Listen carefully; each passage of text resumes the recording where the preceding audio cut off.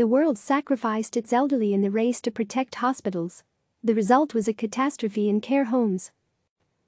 London three months ago, as the novel coronavirus began to gain a foothold in countries across Europe, officials in the UK said they were still confident that the risk to the British public remained low. By February 25, the World Health Organization said the virus had already killed thousands in China and was spreading through northern Italy, but at the time there were just 13 confirmed cases and no deaths in the UK. While the government ordered hospitals to prepare for an influx of patients, its advice to some of the country's most vulnerable people, elderly residents of care and nursing homes, was that they were very unlikely to be infected. That guidance would remain in place over the next two and a half weeks as the number of coronavirus cases in the UK exploded. By the time the advice was withdrawn on March 13 and replaced with new guidance, there were 594 confirmed cases, and it was too late. By May 1, of the 33,365 total confirmed deaths in England and Wales, at least 12,526, or 38%, were care home residents, according to the latest estimates from the Office of National Statistics, ONS. While the UK government has defended its handling of the issue, care home staff and experts placed at least some of the blame for Europe's highest death toll on the prioritisation of hospitals over these facilities. Others have blamed the slow rollout of testing, the government's alleged pursuit of herd immunity, which it denies seeking, and its failure to order a lockdown early enough.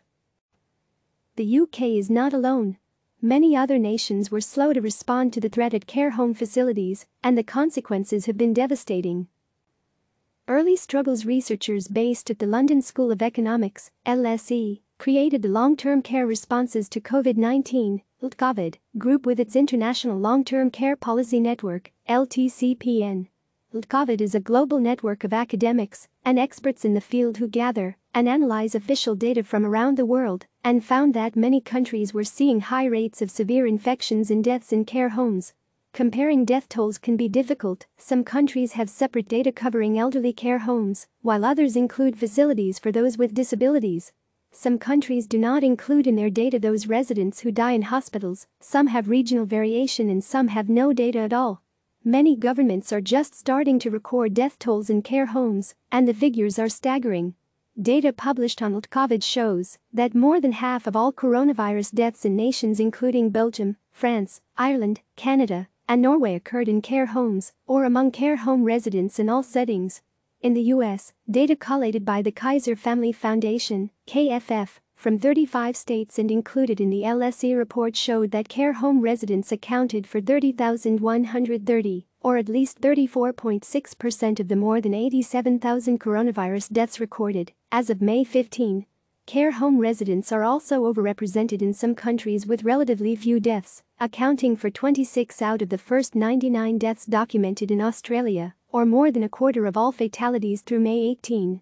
M infographic 1,590,485,129,406 background URL cdn.cnn.com cnn.e interactive html5 video media 2020 0526 care homes table 375 px.png no repeat 00 0 transparent margin bottom 30 px Padding top 133.821571238348887%. Width 100%. Moz background size, cover. O background size, cover. WebKit background size, cover. Background size, cover. Add media, min width 640px. dot M infographic 1,590,485,129,406 background image, URL, cdn.cnn.com cnn.e interactive html5 video media 2020 0526 care homes tables 780px.png padding top 54.83664317745035% at media min width 1120px m infographic 1,590,485,129,406 background image, URL, cdn.cnn.com cnn.e interactive html5 video media 2020 0526 care homes tables 780px.png Padding top, 54.83664317745035%. Sweden has repeatedly defended its controversial decision to remain relatively permissive in its restrictions on movement, but Health Minister Lena Hallengren admitted a big failure to protect the elderly and said care homes were now of the utmost importance, according to Swedish media. There had been 1661 coronavirus deaths among care home residents out of 3395 total coronavirus deaths in Sweden by May 14, or 49%, according to COVID's report. France, Spain, and Italy were overwhelmed by the virus very quickly, said lead LSE researcher Adelina Comas Herrera from the university's Care Policy and Evaluation Center. They were the first countries in Europe to have these problems on a big scale. And I think they offered a lot of lessons that ideally could have been learned in other European countries. Despite having a large elderly population, Italy failed to take early action on care homes, according to COVID's research. Italian newspaper Il Post reported that residents at homes in the northern Lombardy region were getting sick or dying much more than normal in the weeks leading to March 30 and documented a lack of PPE, personal protective equipment, and testing in these facilities. The management of care homes in Italy is handled at a regional level. The Italian National Institute of Health launched a survey to investigate, but was still missing data on more than 4,000 homes as of April 14, according to the COVID report. Prime Minister Giuseppe Conte's spokesperson told CNN that he hasn't made a statement on care homes. A similar story played out in France, where coronavirus fatalities among care home residents in all settings make up more than half of all coronavirus deaths recorded, as of May 18, according to Health Ministry data used in the COVID report. Data in Spain is inconsistent, with some regions including facilities for people of all ages with disabilities, the number of confirmed coronavirus deaths in care homes as of May 10 was 9642, 30.2% of 31,889 coronavirus deaths in total, according to Health Ministry data cited in the LSE report. Italy, France, and Spain at the peak of the outbreak in northern Italy on March 8, the Lombardy government asked nursing homes to make room for non-critical COVID-19 patients to ease pressure on hospitals the regional government said later that homes would receive 150 euros, $160 per patient taken.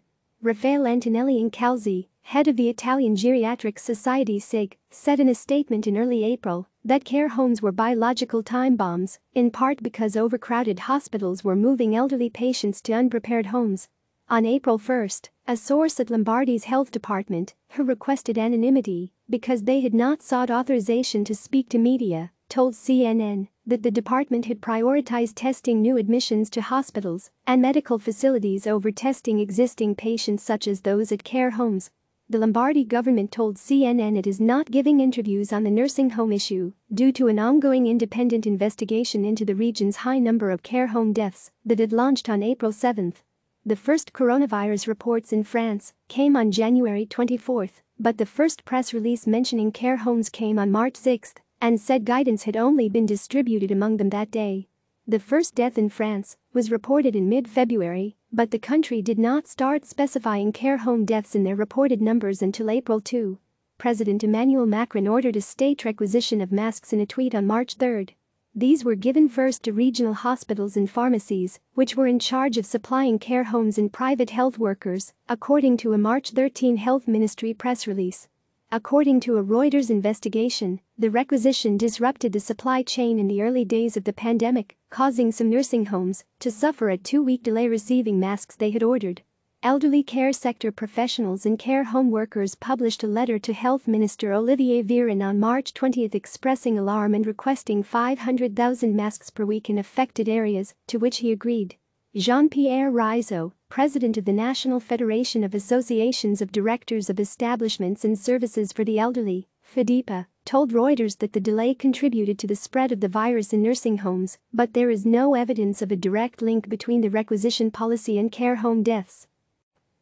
The French Health Ministry did not respond to CNN's request for comment. Spain's first case came at the end of January, but the first care home guidelines were not published until March 5, according to a report published by LTCOVID at the end of March. The guidelines required the isolation of symptomatic residents or staff, but not of those who had been in contact with anyone symptomatic.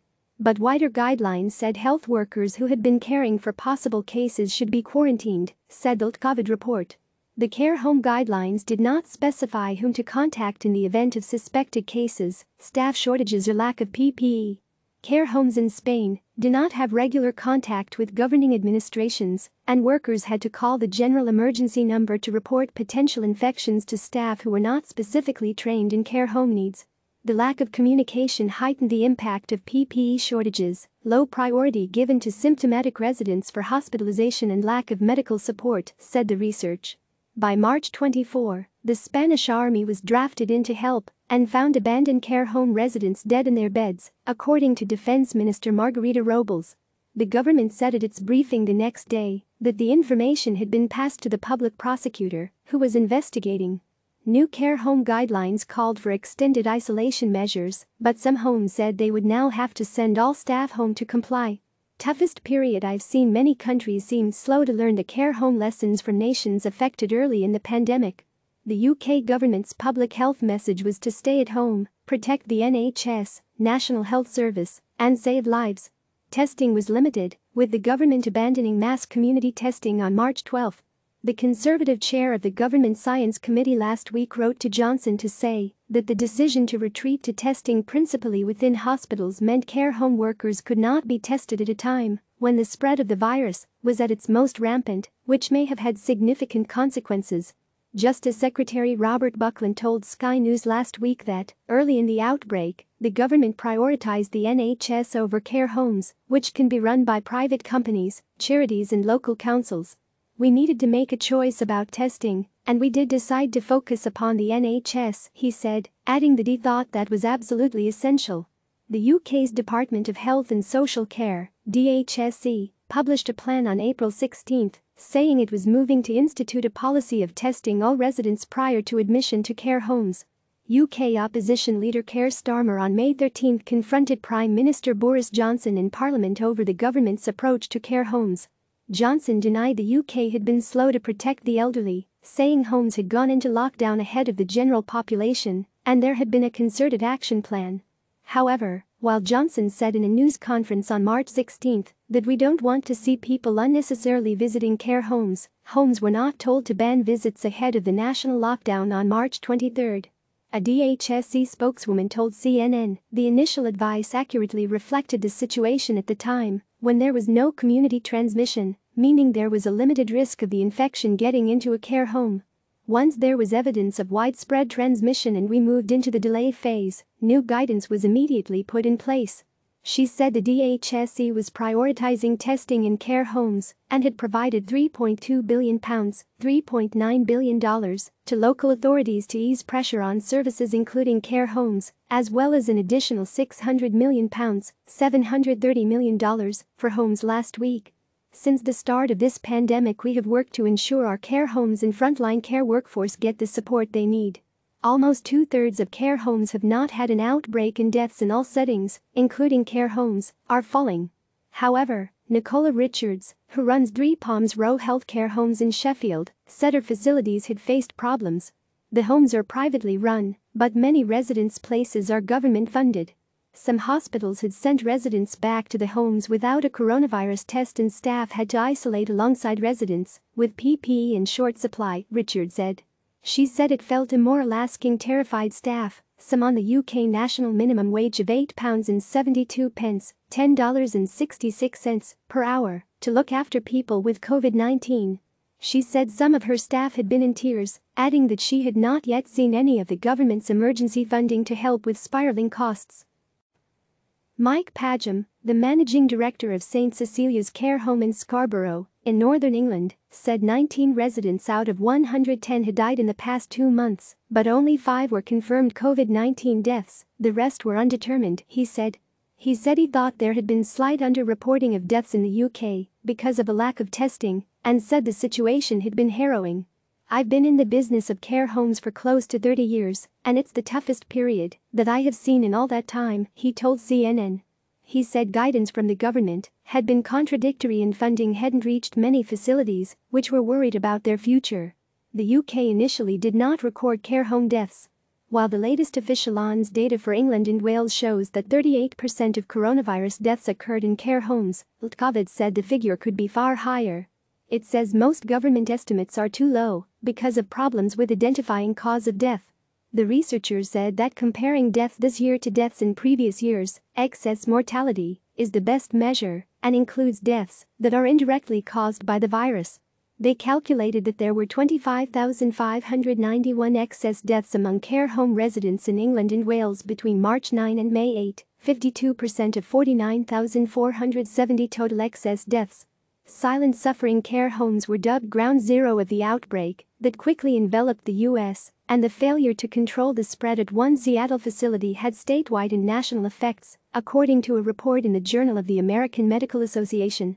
There were similar issues throughout the sector people with chronic conditions living in close proximity, caregivers spreading infection between residents and facilities, and staff shortages due to sickness, isolation, and low pay. A senior's home in Montreal, Canada, showed just how catastrophic such problems can be.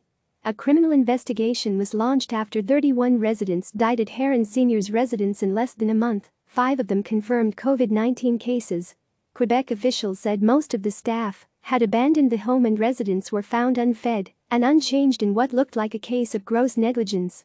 The investigation is still ongoing. The home declined to comment when approached by CNN in mid April because of pending investigations and lawsuits. Ltcovid's report found that 3890 of Canada's 4740 coronavirus linked deaths took place among care home residents as of May 8, or 82%, and Health Canada told CNN the percentage was nearly 80% on May 19. Canada's largest province, Ontario, has announced an independent inquiry. Another troubling incident took place at a care home in the southern Ile-de-France region. According to research for publication in the Journal of the American Medical Directors Association, at least 24 of 140 residents died in five days after they were isolated in their rooms with the coronavirus, without help eating or drinking. Most died from hypovolemic shock after loss of blood and body fluids, the report said.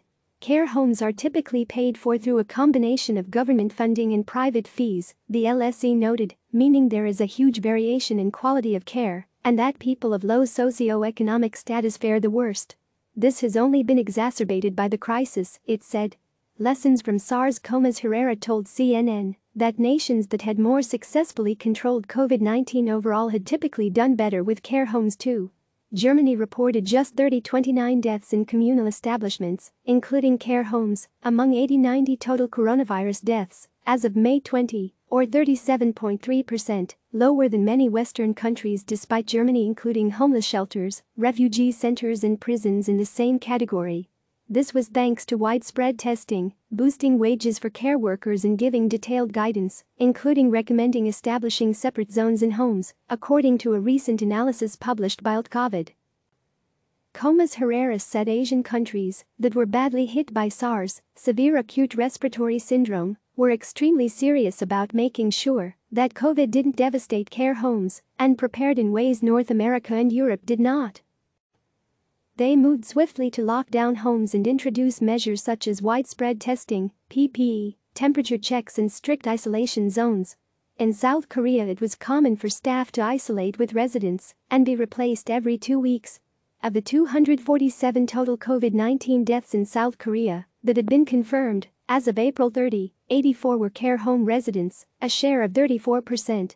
No large care home outbreaks have occurred since the measures were implemented.